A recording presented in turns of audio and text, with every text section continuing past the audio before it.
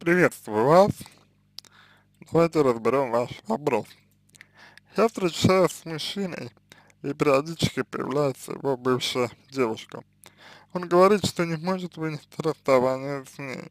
Они знакомы много лет и в свое время не поженились. Он много раз пробовал, но не смог. Девушка по натуре инфантильна. Он не хочет себя и ее травмировать. Можно ли это как-то решить? Ну, во-первых, здесь э, сразу возникает вопрос, что именно он много раз пробовал и не смог.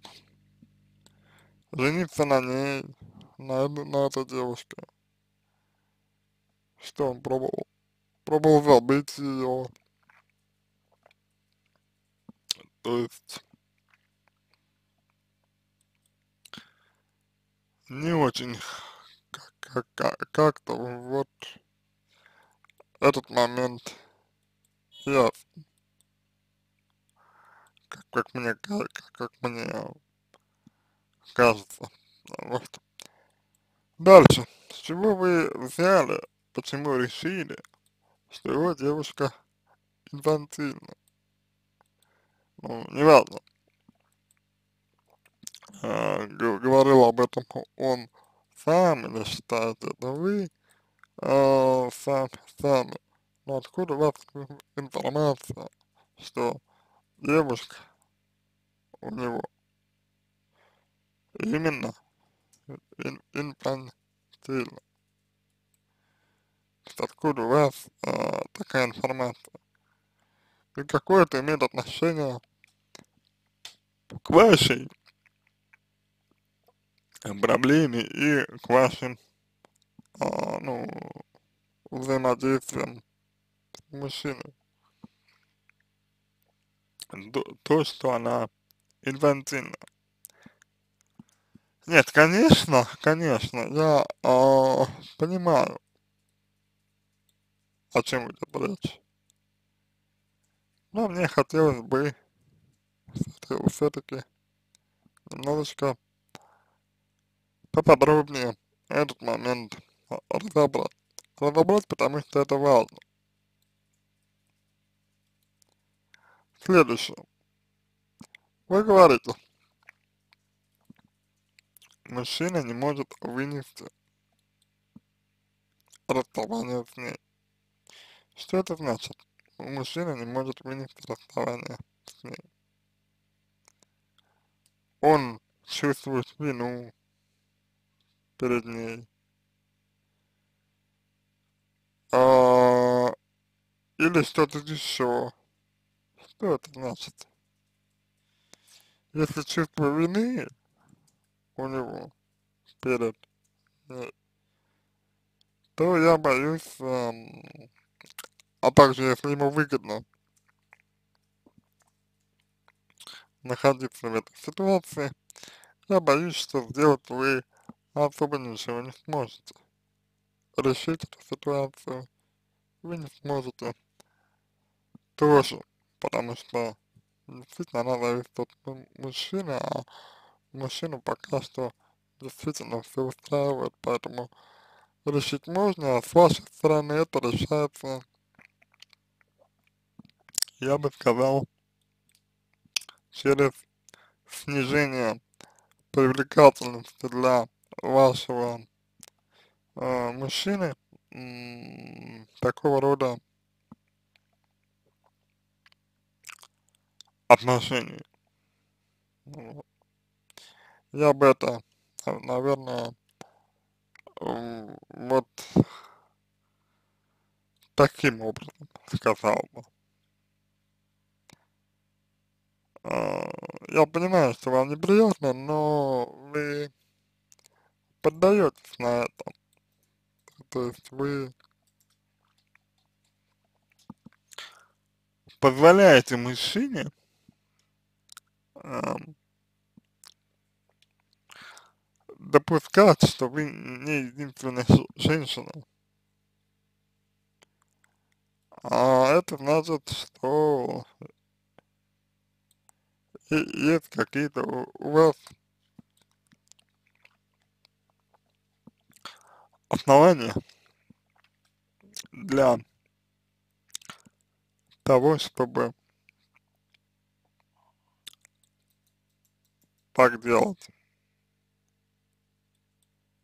Какие основания? Я, к сожалению, не знаю. Но эти основания есть, и их нужно разбирать. Я бы сказал, если вы находитесь в определенной степени во власти треугольника Карпмана сейчас. И вам нужно из него выходить. Потому что если вы из этого треугольника не выйдете, то он начнет вас постепенно засасывать, это может превратиться в любовную зависимость. В целом, на мой взгляд, мужчине не хватает некой такой,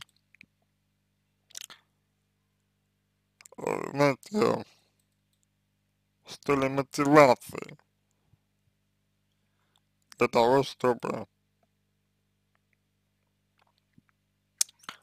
расстав, расставить э, все точки над и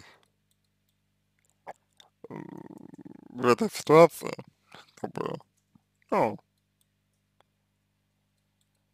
разложить себя полочкам, да, оставить, может быть, может быть, э, девушку, бывшую в прошлом, или наоборот, с, э, с вами расстаться. То, то есть мужчине, мужчине вот не хватает мотивации для того, чтобы это сделать. И важный вопрос, на мой взгляд, звучит так. А какая моя роль в том, что мужчина не может этот выбор сделать? Есть ли моя роль какая-то в этом? И могу ли я, а, ну вот, э, как-то на это повлиять? Понимаете? Вот а, в этом направлении и нужно вам двиг, двигаться на мой взгляд, конечно. Это исключительно мой взгляд. А вот вы говорите, что э, не надо мне давать советы, чтобы он сам спросил. А почему она не, не нужно давать совет? Вы считаете, что мужчине это не нужно? Вы считаете, что он не будет этим заниматься? Вы считаете, что он не захочет спрашивать, не захочет решать эту проблему. Может быть, если он не хочет решать эту проблему, получается, что вам больше всего нужно эту проблему решить. Но проблему-то вы не можете решить, потому что зависите от других людей, а значит вы зависите от других людей. И если вы зависите от других людей, это уже вопрос в большей степени к, вам. Как получается, что вы зависите от других людей? И хотите ли вы перестать зависеть от них? На этом все. Я надеюсь, что мой ответ был полезен вам. Я Желаю вам всего самого доброго, удачи. Надеюсь, что ситуация разрешится.